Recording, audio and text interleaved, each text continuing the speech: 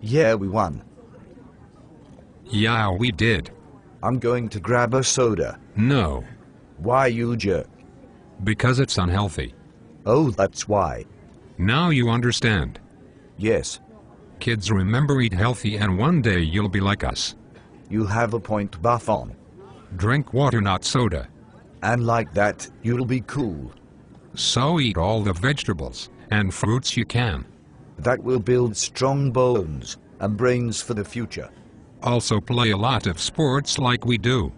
Play soccer, basketball, football, or any other sport.